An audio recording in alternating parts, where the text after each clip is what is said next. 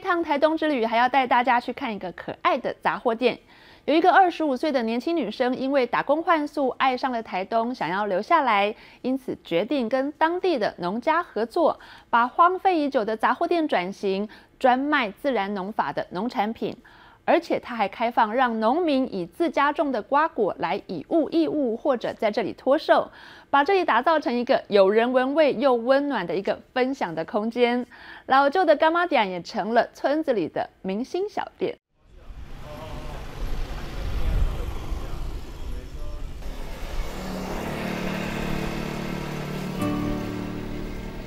对台东人来说，慢是一种自然的生活步调，但对都市人而言，却是一种生活美学，一种奢侈的浪漫。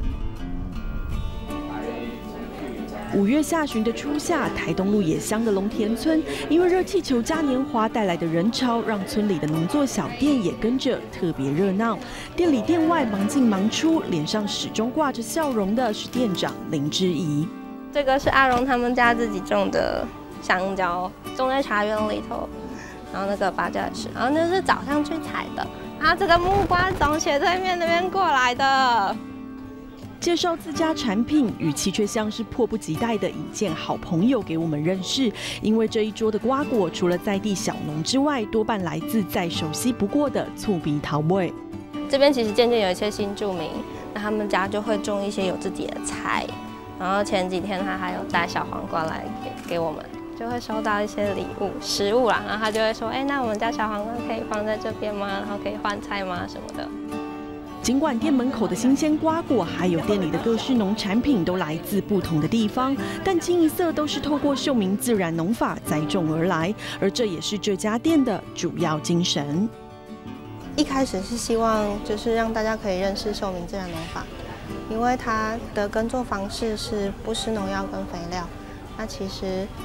你会发现，他们是一群想要关心土地，然后可能也是他们也就真的很喜欢台湾这块土地，所以他希望它是一个很干净的，然后也是希望给大家知道这样子的生活方式其实是可以生活得下去的。侃侃而谈小店的经营理念，今年二十五岁的林之怡，大学毕业其实也才两年。原本在台北念书工作的他，来到台东也只是几个月以前的事。其实他是他在日治时代的时候就是杂货店，所以这个是这边很多居民们小时候的一些回忆，其实都还有在。那后来因为就是第二代的经营者，他后来生病了，所以后来他就变成仓库。然后我来这边是经过打工换宿，所以认识阿荣他们家。然后因为他们就希望这是一个分享的空间，然后就把它变成现在这个样子。